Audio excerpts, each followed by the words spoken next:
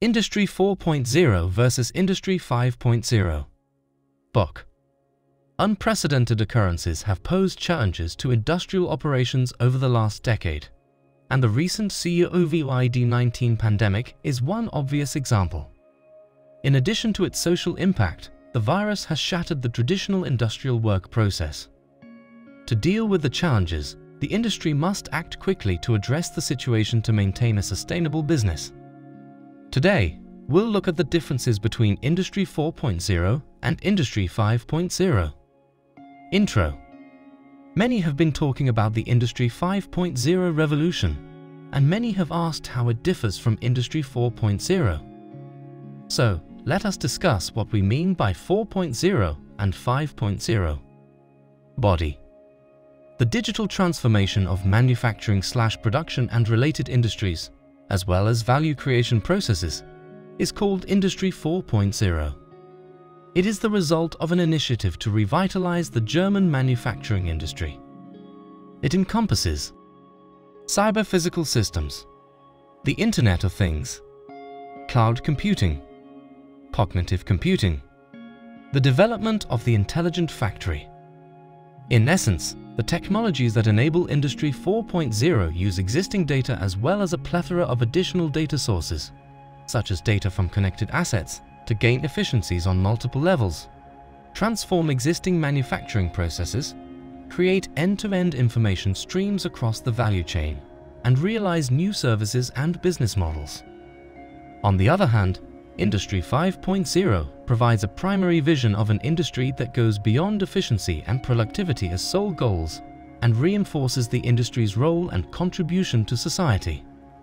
It prioritizes worker well-being in manufacturing and employs new technologies to provide prosperity beyond jobs and growth while respecting the planet's production limits. It adds to the existing Industry 4.0 approach by putting research and innovation specifically at the service of the transition to more sustainable, human-centric and resilient industries.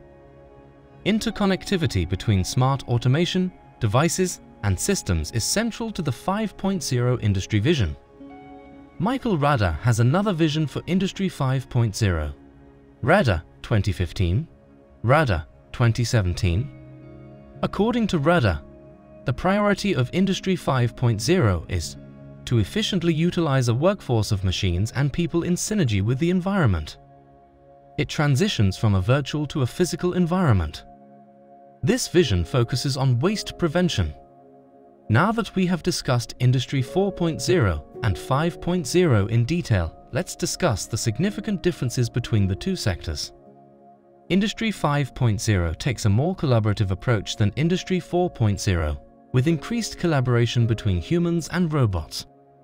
While the theme of Industry 4.0 is connectivity via cyber-physical systems, Industry 5.0, while also aligned with platforms enabled by Industry 4.0, also addresses the relationship between man and machine, also known as robots or bots.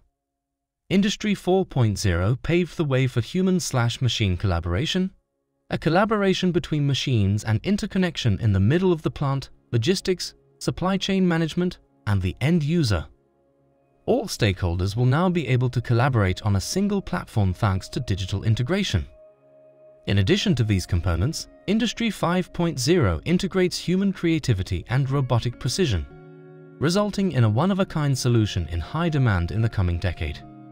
Industry 4.0 and 5.0 have created a roadmap for enterprises to follow to thrive. We know that Industry 5.0 is relatively new with new additions. But what's so different about it?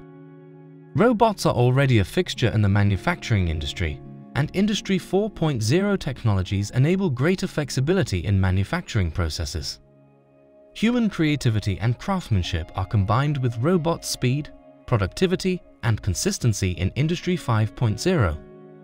That's all there is to it in a nutshell. This is where it differs from Industry 4.0. Outro The world is continually changing, and with that dynamics, the world comes with new inventions. I hope today's video was enlightening and informative.